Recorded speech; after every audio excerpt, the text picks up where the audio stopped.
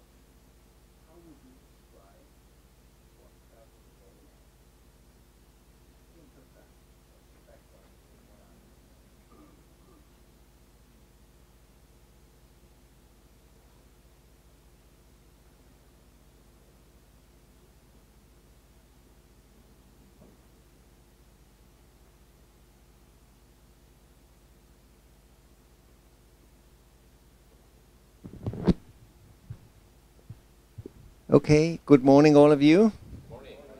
I'm really pleased to see you, and I'm also pleased to see all of you who are with us from around the world. Uh, you're very welcome, and we look forward to have your comments and observations and questions so that we can all join into this, what I think, very important subject.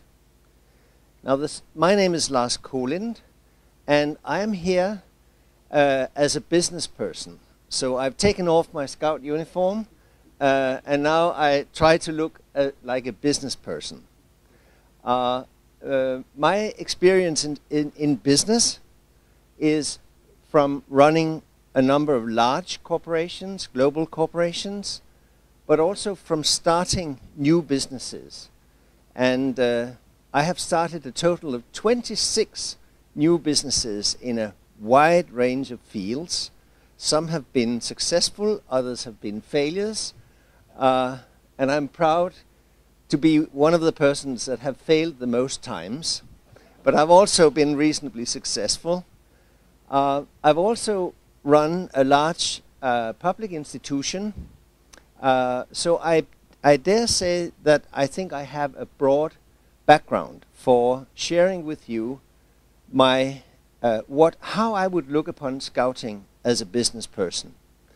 I should say before I start that currently I'm spending a lot of time in China uh, helping CEOs from Chinese businesses to learn how to run or to develop their companies from manufacturing for the home market into becoming world class global corporations being able to compete with the world market leaders around the world, uh, which is a, a fascinating challenge. So that's uh, my job. Uh, I would like to uh, start with a small calculation. Uh, the theme of uh, this morning's session is the impact of scouting. And the impact of scouting is something that we are not really used to expressed as scouts. We all agree it's great. Uh, Abdullah, there's space up here. And Vemund, space up here. Ah, you would rather sit in the back. Okay. Uh, we're not really used to quantifying the impact of scouting. We all know it's great, but if you come from outside, you would like to have a better understanding, really, of why it is so great. We have space up here for the latecomers. Uh, and I'd like to do a calculation. If you think of a young scout, uh, this young scout would normally stay with us for about five years. Could be four, but let's say five years. Uh, during that period of time, this person, this young person, will have spent approximately 1,000 active hours being a scout. 1,000 hours. And what will that person have been doing during those 1,000 hours? This person will have done camping, will have done hiking, will have learned to find his or her way. If I say his, I always mean his or her, but uh, uh, I may forget the her. So this person will have learned a lot of things, done a lot of different things uh, during those 1,000 hours. And if we are to summarize what that young person has learned, I would take the five skills that Chris Lonsdale uh, mentioned to us because I think those five essential skills express very well what a young person learns from all these activities. And they are creative problem solving. Creative problem solving is what you do all the time, every day in scouting. You are confronted with a challenge and you need to find a solution individually or more often in a group. The second thing is that the young person learns uh, to have self-belief, self-confidence, and this is especially true when you realize that you can actually do this 40 kilometer or 80 kilometer hike, or you can build this tower, or you can do this bridge, or whatever you do, you discover that you can do much more than you thought you could do, and especially much more than your mum thought you could do. So you gradually develop self-confidence. The third point is that all the time in scouting, we learn by doing, which is why we learn what's called self-directed learning. And that was number three, which Chris Lonsdale mentioned as the essential skills for people. The fourth skill he mentioned was communications. And since scouting is so much of a small group exercise, it is obvious that you cannot be a scout without practicing how to communicate. The fifth skill was emotional intelligence, and that is acquired through scouting because in the patrol you need to take advantage of every single member's strengths and by doing that you have to connect with the person, to understand the person, to, to respect the person, and by working together, you develop particularly emotional intelligence.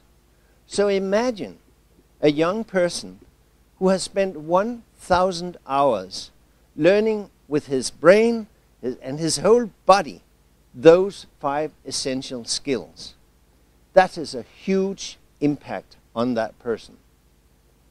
Some of us stay longer, uh, not because it took us longer to learn it, but because we loved it so much that we stayed longer, and of course we benefited more. Others stayed not so long and benefited less. But as an average, a person that has gone through five years of that sort of training has really, really acquired a lot, and we have had a huge impact on that person. That is a micro perspective. Now, let us do the macro perspective. We have roughly 40 million scouts around the world, and if they stay an average of five years, we have 8 million graduating from scouting each year. On average, they will stay for 50, 60 years. So, on average, there will probably be around 500 million people, mostly adults, in the world that has gone through this training and has learned, they have learned these basic skills. They have been enabled to act as active citizens and leaders of positive change. Now just imagine that number 500 million people who are capable, who act as active citizens, and who are capable of leading positive change. That is huge. So comparing our impact with any company, government, other NGO, I think will favorably come out that scouting is probably one of the most important and impactful organizations whatsoever in the world. That's how I would look upon it as a business person. I tried to relate it to my own village. I live in the countryside, and my village has about 7,000 inhabitants. And this happens to be one millionth of the world. Now, if this tiny place was average from a scouting point of view, with 7,000 people, there would be 500 of them who had been able or had or would be acting as active citizens and leaders of positive change. 500 people in my small village. And if you take uh, look upon these 500, probably 100 of them, one in five, will take some, will have some sort of leadership position. And since I calculate that in my village there are 200 people who have some sort of leadership role, it is half of the leaders in my village who have become able to act as active citizens and leaders of positive change. Imagine the impact that has on the life of our village. In fact, I think in our village there are not, not about 500, I think there are about 1,000. And I can't find many leaders who have not been scouts, but that's because we've always had a very strong scouting tradition in that village. Just uh, so, did you get it? One half of all leaders in the world probably have some sort of scouting background. That's a lot. If you take a slightly larger perspective and look upon your country, I will look upon my country, which is Denmark, with 5 million inhabitants. It is striking that when you talk to the 100 most, most successful and most well respected business people, and I've done that, and I've asked every single one of them, Were you a scout? 70% said yes. My next question, by the way, was Would you like to partner with Scouting, support Scouting, become a Baden Powell Fellow? And about 50% said yes. Not too bad. You can do the same thing. So the point about having, about assuming that about half of our leaders worldwide have been scouts It's not completely off.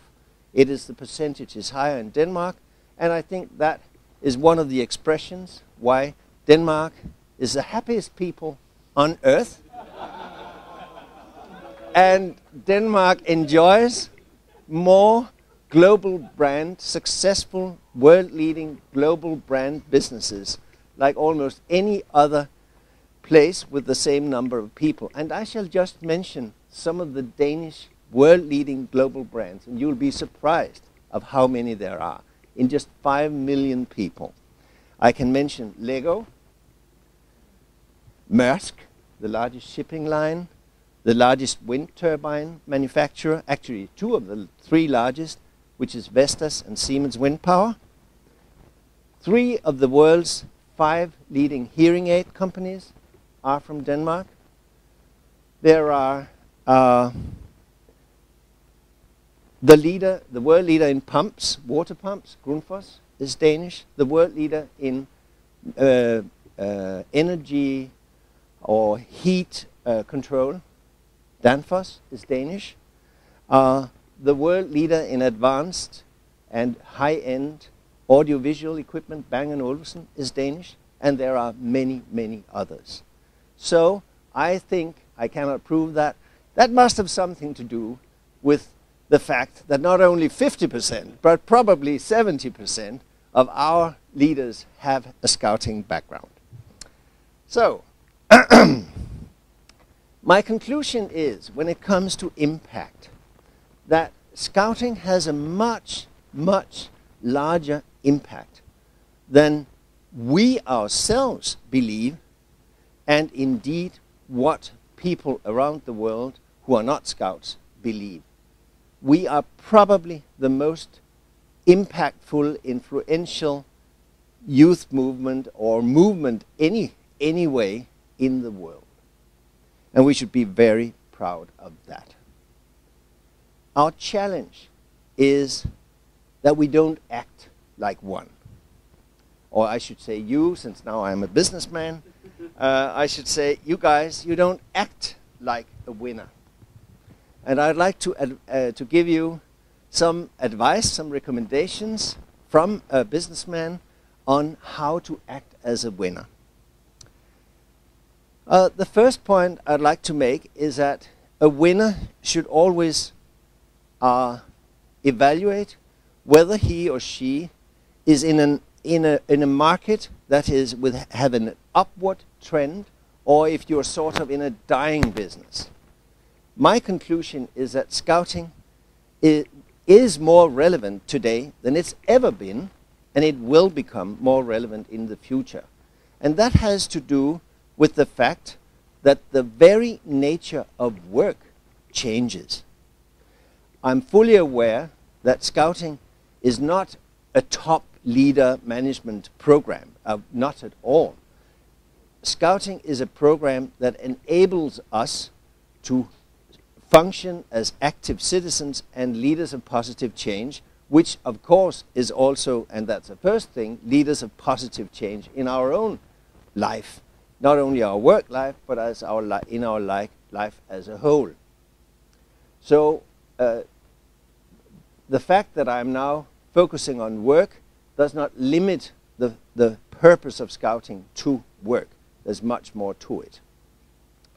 But uh, if you look at the future of work, what we're seeing is that the repetitive, stupid work where a person just stands in front of a machine and does sort of the same thing, which is the classical type of work at the assembly line, is rapidly decreasing, even in China.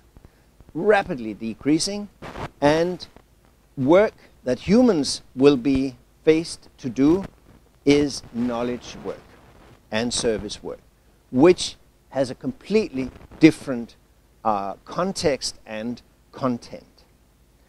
The second thing uh, is that individual work, which is what you do when you stand at that machine, is actually being substituted more and more by collective work.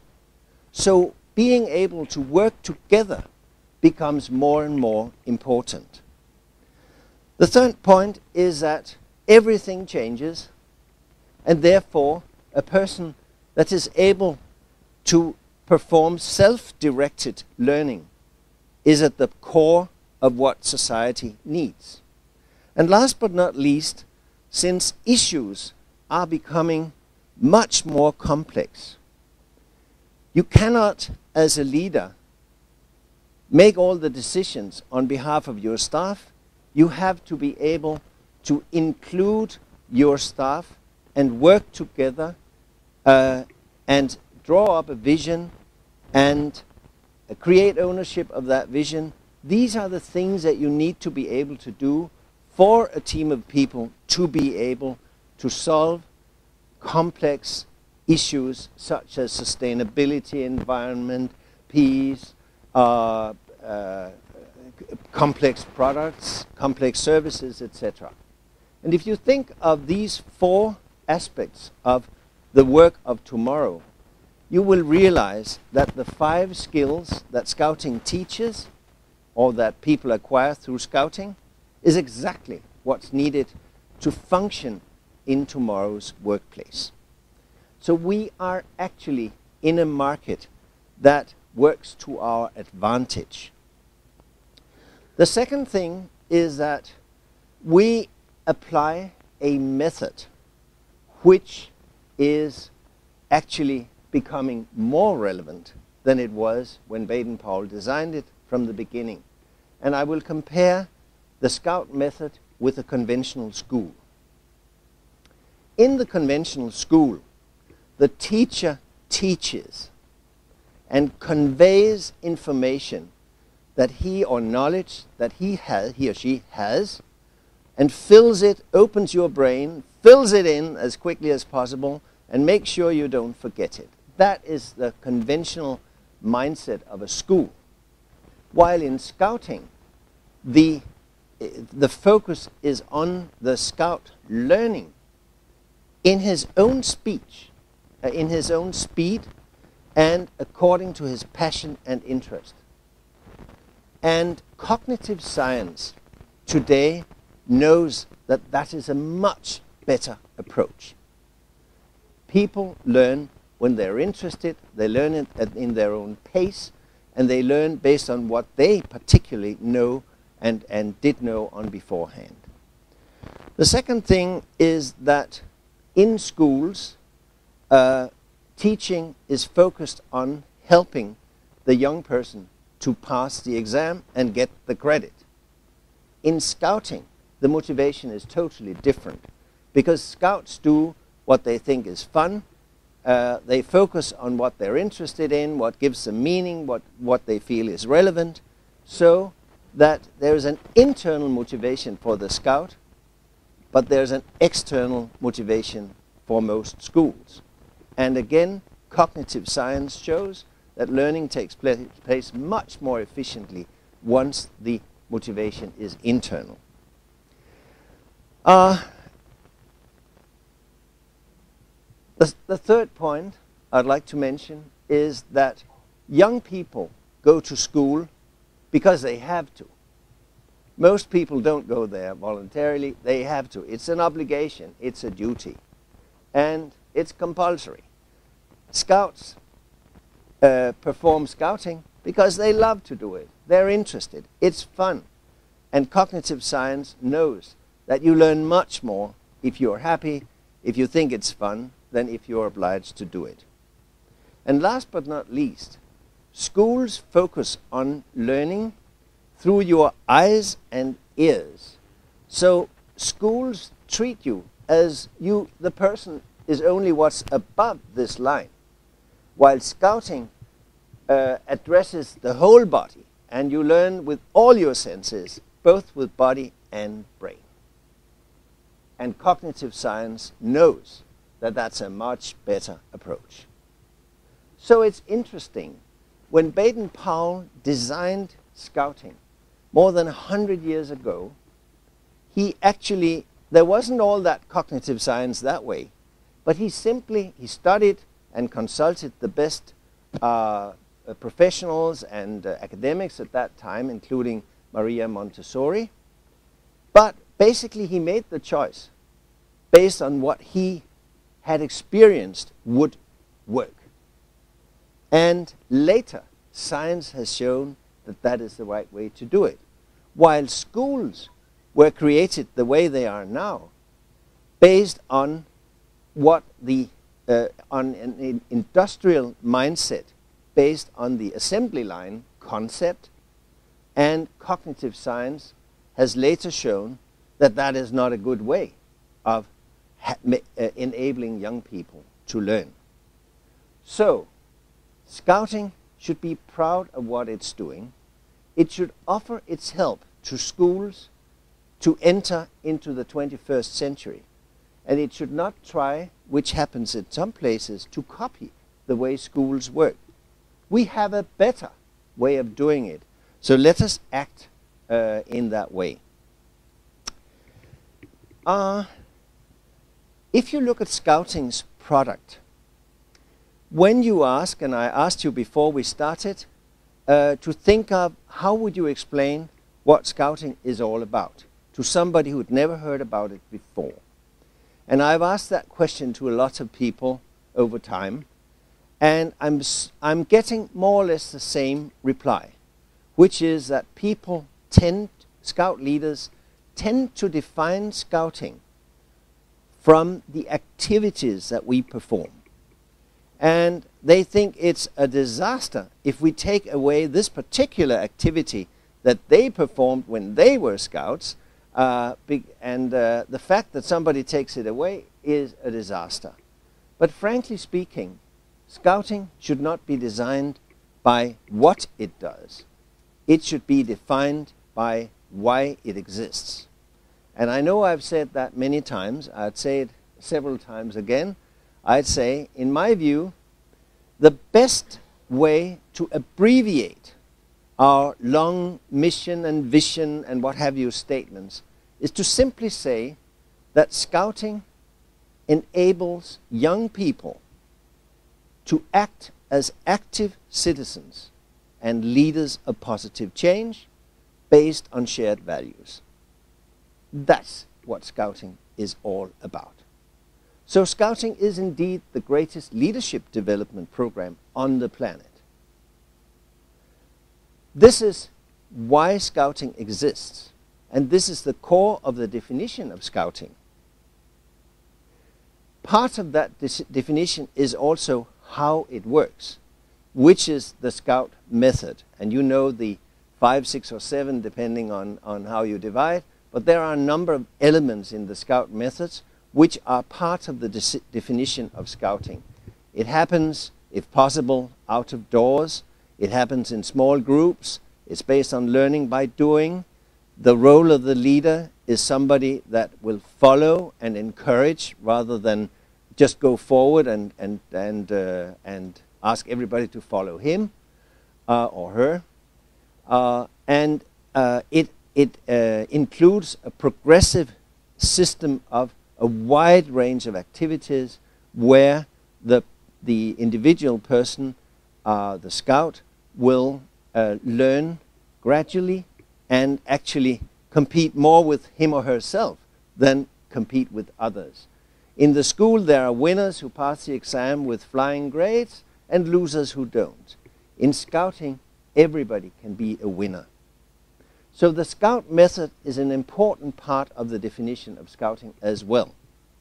But if you look at the three, the why, the how, and the what, we should be pragmatic and willing to change the what, which is the activity, which means that if there's a new technology or whatever comes in, like mobile phone or Facebook or what have you, we should not try to get people away, young people away from it. We should embrace it and use it to our advantage.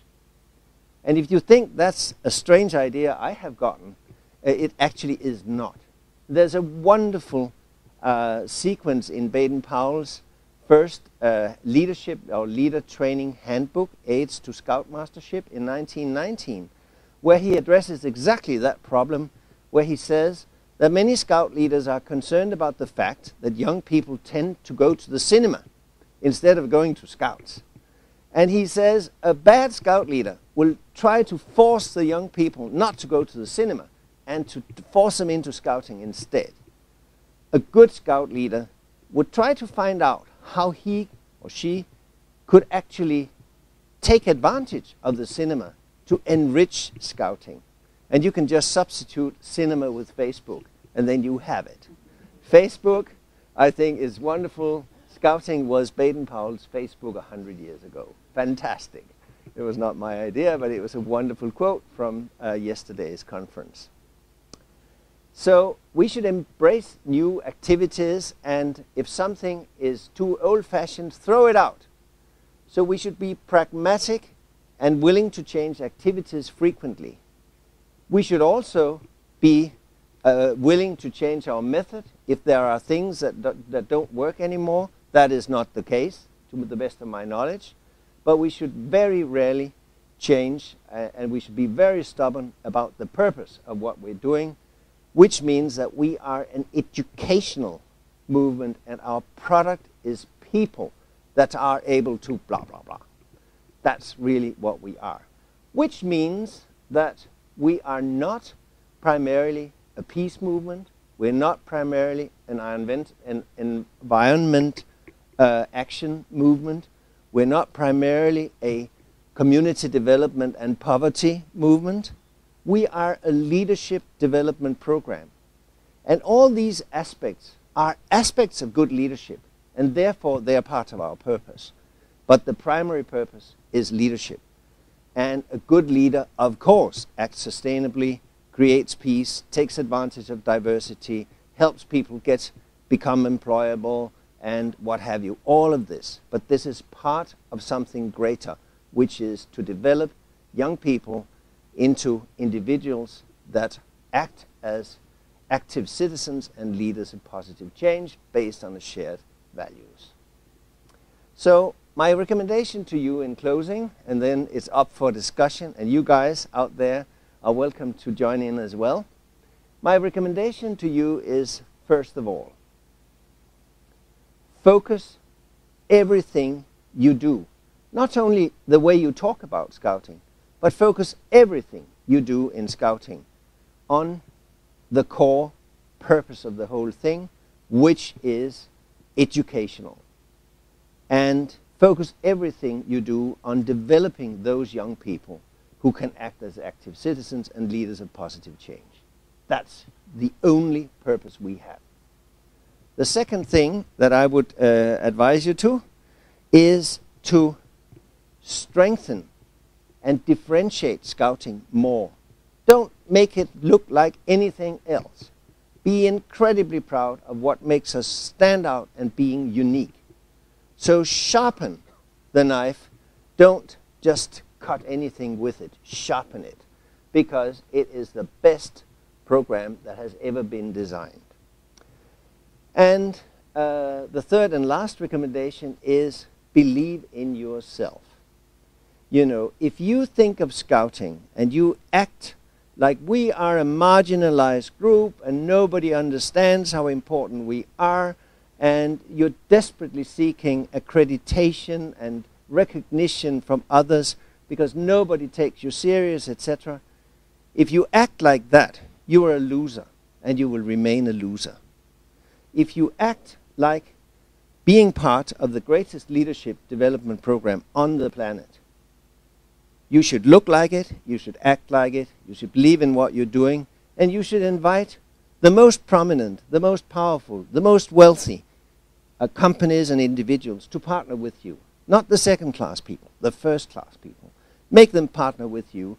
And who would say no to partnering with the greatest leadership development program on earth? Nobody would.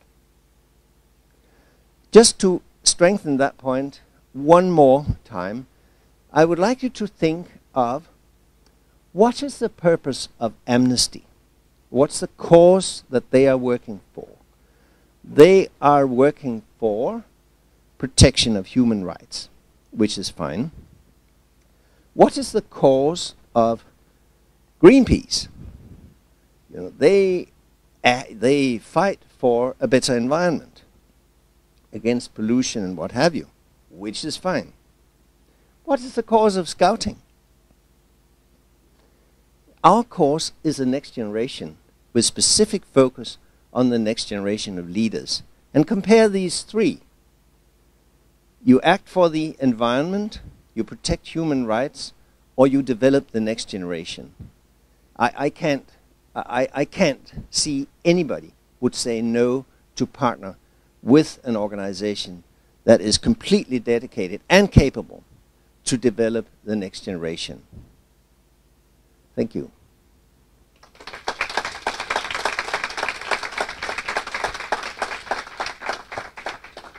Uh, this was not a pep talk. uh, it was actually from the bottom of my heart why I'm, I'm here as a, a businessman and a scout leader. Uh, and I really invite you guys to uh, now, also you on the internet, uh, I really invite you guys to comment upon what I'm saying and to ask questions. And I want to say that what I'm saying is actually not what everybody agrees it, it is a very personal point of view, which uh, there are quite a few people that dis will disagree with. So you are perfectly allowed to disagree, to express your concerns and what have you, because that's what makes this event uh, useful and valuable. And I have a microphone, and you actually should probably use both. Yeah.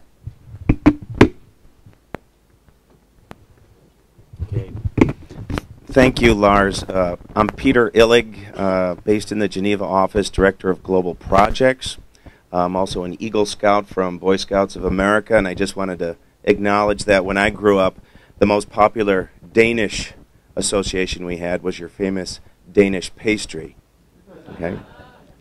Um, I wanted to ask Lars uh, if you could give us some suggestions or ideas or when you talk about differentiating you know what's unique what are those differentiators that you see? Give us some examples that would make us stand out. Thank you. Should i use both microphones? Is that necessary? It is not. Can i leave one? Okay you get it. Okay. Uh, i don't think there is is a translation put up that one. Okay, what are the main differentiating factors that I see?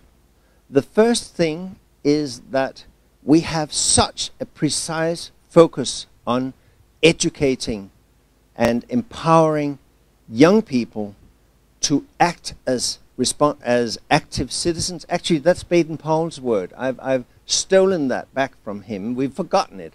But actually, he talks about active citizenship, and he he puts it at a contrast with passive citizenship, which is obeying the law. But that's not enough. He, what he says, scouts should actually go out and do something to create a better world.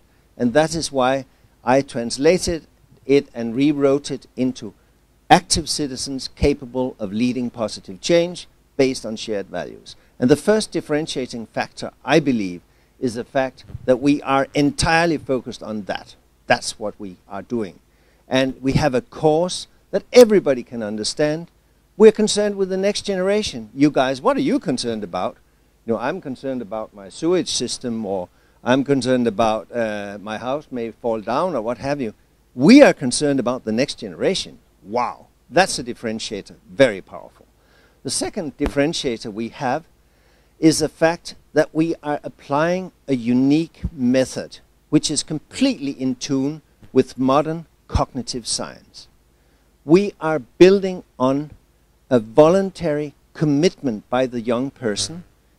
He or she gets in voluntarily, joins because he or she thinks it's fun, it's a nice place to be, want to be there, doing interesting things, makes a commitment through the Scout promise and law to become the person that he or she wants to be, uh, which is expressed differently in different societies, but there's a voluntary commitment, which is a strong differentiating factor as well.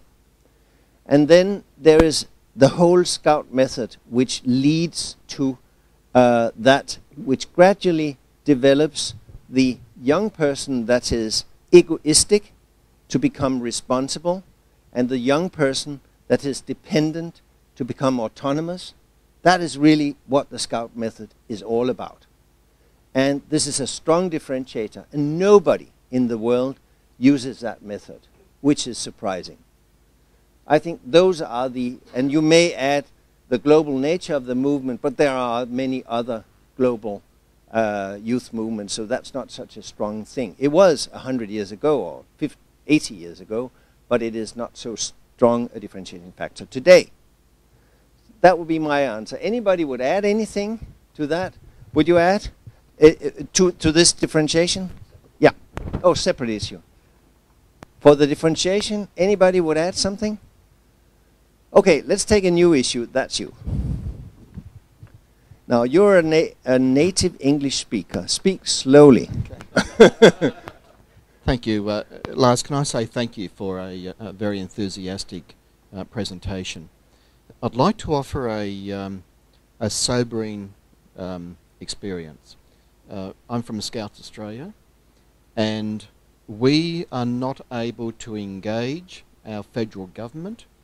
We're not able to engage many philanthropists or um, business organisations in the way that we would like to. There are primarily two reasons. The first, Scouts are not good at marketing themselves. And secondly, we fail to be able to measure the positive impact of scouting. And yesterday, I threw this question out how can we get better at measuring the positive impact of scouting? My personal view is that to engage with federal, state governments and with philanthropists, we need to demonstrate, we need to quantify what the positive impact of scouting is. The hard nosed decision makers would have a positive impression of scouting, but we need to do more than that. We need to translate that positive impression of scouting to very quantifiable results. How can you help us? Thank you very much, Neville. I'm happy uh, to give you just a rundown of the pitch that I'm using when I go out and raise money for scouting from exactly these people. The first thing I say, do you know what scouting is? I never ask people if they have been scouts because we want money from people who have not been scouts as well. So, the first thing I said, do you know what scouting is all about? And they will tell the activity story. And then you say, okay, you're absolutely right, but frankly speaking, scouting is not about what you see. It's about something you don't see. Uh-huh. And then what is it that you don't see? You see the smartest educational system backed by most recent cognitive science, which transforms dependent and egoistic young people into autonomous and responsible adults who are capable of acting like active citizens and leaders of positive change. That's what scouting is about. Which means, and then you tell the, the core story, you know Amnesty, you know Greenpeace. What do you think scouting's aim, uh, scouting's cause is? The next generation. So the question to you is, how would you relate to an organization such as this one that is the greatest leadership development program on the planet and which is focused on the next generation. So now you have laid the ground. Now you have to argue why scouting is such a fantastic place to invest your dollars. And I will give you four reasons for that. The first one is that scouting is focused on young people and thus has a long term effect of at least 50 years. And imagine what an investment you are making that has a 50 year positive feedback. Wow! And the feedback and the, the, the return gets greater each year because the person grows in responsibility, leadership position, what have you. So it's not a declining return, it's an increasing return 50 years from now. So it is a long term investment. The second reason is that you're investing in enabling young people to lead positive change, which is to lead others. Leading others means that this person has a multiplier effect. So you are focusing on one, but frankly speaking, this one over the next 50 years will probably influence 200 or 2,000 others. So it has a much wider impact. The third point why you should invest in scouting is that sorry is that for every paid professional every person that receives a salary there are roughly 1000 unpaid volunteers such as me and many of you there are 1000 unpaid volunteers for every person that receives a salary so you really get bang for your buck. All these people working for you for free. So there's impact like you can't imagine. And then we add a fourth point when we talk about the World Scout Foundation, which is really something that just makes people lie down and say, where, where, where should I send my check? Okay? Because then the fourth argument is that in the World Scout Foundation, all the operating costs of the foundation are covered by the board members. So your dollars will not go to pay expensive travel or anything like that. It will go directly to the scouts. That story is irresistible. It's a fantastic story, and the impact is unbelievable. So you can go out and do it, and if you want to persuade all these people, you should offer them a partnership. You shouldn't never ask for money you should offer them a partnership that will benefit them as well. Who doesn't want to be associated with the greatest leadership development program on the planet? Maybe come you come up here so that our friends can see you. Uh, thank you so much. Actually, this is related to the just the concluded question. First of all, thank you so much uh, for the words of wisdom. I feel you. Uh, I feel you. I learned this from the earlier session in the morning. You know, uh, my name is Conrad Natse from Uganda Scouts Association. I'm the technology for development specialist. Uh, our association took a kind of paradigm shift to give the young people an opportunity, just like we had in the morning, to explore, take leadership, make the mistakes, and take it forward with the new technology that is up. Uh, with my friend Moses there and all the guys who came here, actually, we are kind of young people who are running the association. Uh, our focus for the last last three years has been creating opportunities for the young people across the country. So we came up with all these cool and marvelous applications. You must have heard of UReport, uh, UReport, which is a mind-blowing application which we are uh, running globally now. Uh, we're coming up with a Minds Up application, which is a medical uh, mobile application where someone can get actually uh, prescription. Uh, the question is uh, appreciation and being valued. Uh, we create the opportunities for the young people, and I like the fact that you're in the line of business. But uh, there's exploitation that comes with being a voluntary organization. As much as someone is valuable and this, they say, you're a scout, you give your services. How do we tackle that aspect of appreciation versus value? Thank you. Thank you very much. I understand that that is maybe more difficult for you than it is for us. Uh, because if we, if somebody wants us to perform free services, uh, which is what you call exploitation, if somebody wants us to do that, we will return by saying, okay, how could we do that in a way that develops the leaders for tomorrow? How could we do that? And most likely, we will be able to work out a solution that will be mutually beneficial for scouting and whoever wants us to do something. And if uh, we can't do that, we'll just simply say no. It's, a, it, it's like that. The one thing I'd like to just mention for you before we have the next question uh, is that if you look at the way businesses will be run in the future, and this is really why I'm in China, uh, I'm working with the Chinese to sort of jump ahead uh, to, to teach them or to give them an ability to learn how to run businesses in the 21st century logic and not the 20th century logic. What is interesting is that businesses that will be successful in the 21st century will actually engage their stakeholders to a much higher degree than we do today.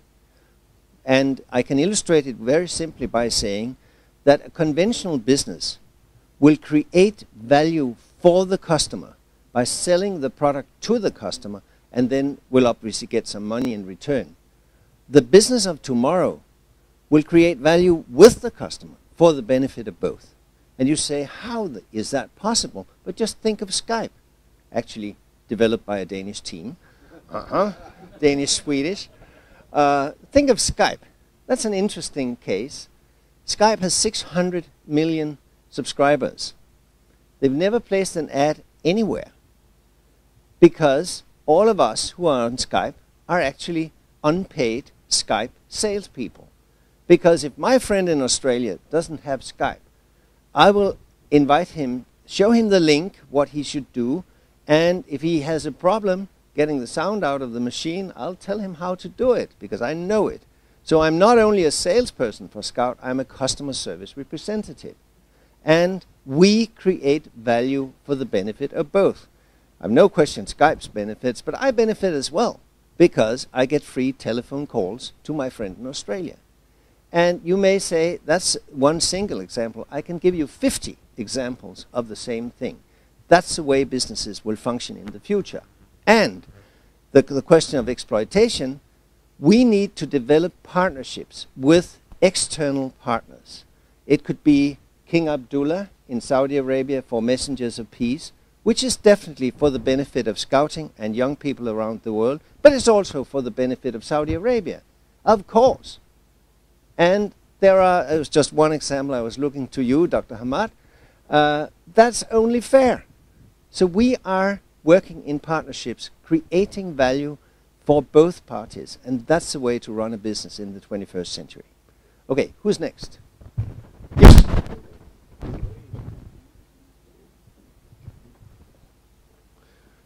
Uh, first of first of all, uh, I'd like to thank you, Lars. Your uh, wonderful presentation. Uh, especially, uh, you said uh, scouting is Baden-Powell's. Facebook, I thought it's the code of the day. Yeah, that's wonderful. And uh, my name is Jesse. I'm from Taiwan.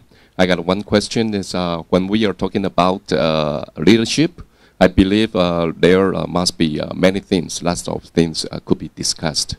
however, uh, if uh, in terms of uh, scouting, what will be the most important or most important criteria for developing the, the, the, leadership capabilities, especially for the young people, and why? Thank you. Thank you very much, Jesse. Uh, actually, there, in the last three-year period, since the last conference in Brazil, and up to the Slovenia World Conference, there have been four priority areas in World Scouting, and one of them is called 21st Century Leadership. And they have worked day and night to answer your question. Uh, and they have defined what leadership is in the Scouting context. If I am to summarize that in just one sentence, I would call it active citizenship leading positive change based on shared values. That's really the summary of what that is. Which means that uh, in the patrol, for instance, you know, now we're doing cooking and you're really, really good at that. And so you are sort of the leader while we're doing cooking and you are excellent in, in maintaining the fire. So you're a leader in that. And uh, I'm a good planner, so I'm planning what we to do after the, the, the what we do next, etc. So in scouting, everybody can be a leader, and that's what differentiates us from, say, a business school, which makes it a competition. You know, either you're the leader and I'm under you, or I'm the top guy and you're under me. That's not the way we understand leadership in scouting. I think that's the most prominent feature but there is a nice report to be presented in Slovenia, and I'm sure you can get it right away uh, because it's, it's available in draft form on what leadership will be and should be in the scouting context. But if you want it brief, and I know I'm repeating myself, and I'm sure that when you walk out of this door, you will all say, active citizens leading positive change. That's what the whole thing is about. Okay, you Lars, my name is Barry Saunders. I'm from the United States. Um, thanks for a great presentation. Um, I know that a lot of us would think about, you know, we're likely not going to go out of here and go ask the uh, Sheikh of Saudi Arabia for $35 million along with you. So how does this all impact on us? And I'd like to offer a couple of things that I think we can do and see if you would comment on those. First would be that marketing our product is a shortcoming. Uh, I think we've already acknowledged that we don't we don't do a very effective job even of measuring what the ultimate outcome is. Although you could argue that a lot of that is kind of intuitive. I mean, if you create good citizens, there's a lot of examples of that. What we fail to do is we fail to market that very effectively. Uh, I know we get balled up in all of the things that the media likes to parade out about scouting and fail to tell the positive stories. So one of the things that I think we should all do is to concentrate more on marketing what we're all about. Uh, and that's something that many of us can get in, involved with. The second thing is, is that we've got this ratio of one paid professional to a thousand volunteers, and I would, I would say that most of us in this room spend most of our time trying to figure out what to do with those thousand volunteers in terms of training and development and et cetera. Some of us have the good fortune to actually work with young people, face to face. But most of us end up spending most of our time with committees and organizations and individual volunteers. And so I'd submit there's a couple of issues there that we could carry this kind of message out and do. One clearly is more effectively training the volunteers to have the perspective that we're trying to give to ourselves, which is the purpose is really the, the ultimate goal here, and we need them to concentrate on that. We do need to train our leadership more effectively in the methodology but since methodology is really less important than the purpose, we need to concentrate on the purpose, and we need to kill some of the sacred cows so that we are less uh, unwilling to change the what. Uh, and those, I think, are two things we can probably concentrate on. I appreciate your comments on those. Uh, thank you, Barry. I, I would actually offer one comment that addresses both points and I would express a slight disagreement with you, uh, referring to David Hansen, who sits right here. He's the new chief scout of the Danish Guide and Scout Association, a young, really, really sharp guy. And the two of us were discussing actually our strategy for growing, for having more impact, for being more successful, for positioning scouting better in society. And actually, David came up with, I think, what was a really, really interesting idea. Imagine if we stopped marketing scouting to young people, and if we focused fully all our resources on recruiting, selecting, training, empowering, supporting adult leaders, voluntary adult leaders. If we created the best possible package to offer to adult voluntary leaders. And if, if we focused on getting more of them in, we agreed actually that in that case we just have waiting lists of young people wanting to get into scouting. And so that it would be my take on it, inspired by what David said. I would also add another comment, which is that I personally think, of course, we could do better marketing of what scouting is all about by having a clearer message and focusing on the why, etc., all of that. But frankly speaking, an even bigger challenge is what's inside our own brains. Because we have a mindset of scouting being nice to have. And we don't see scouting as something we need to have. And that's the most fundamental problem. So you guys have to change your perception, in my view, you have to change your own perception first. Is scouting just something some crazy volunteers go out and do uh, on certain evenings and uh, weekends with young people to help them have fun and learn useful skills? Or is it the greatest leadership development program on the planet? You guys have to make up your mind. What is it, your perception? What is your mindset? And once you've made up your mind, you need to act differently. And then I personally think that marketing will be much easier and will be much more successful. We still have room for a couple of questions. Uh, open? Yeah. It's your turn. I'm very impressed, inspired, what I heard. Thank you. In my NSO, I think we spent a lot of money and resources on training our leaders because we realized their importance. But to my mind, I think we forget about empowering them. Could you share some good examples how to empower, empower young people on 21st century? Uh, you you might talk about empowering our adult leaders. I I don't generally see that as such a big problem, uh, but let me address that. For an adult leader, if this person is focused on the why and understands the method and the value of the method, of course, this leader should be given great freedom to act within that and to take advantage of local opportunities and what he or she thinks is fun, what have you, all of that.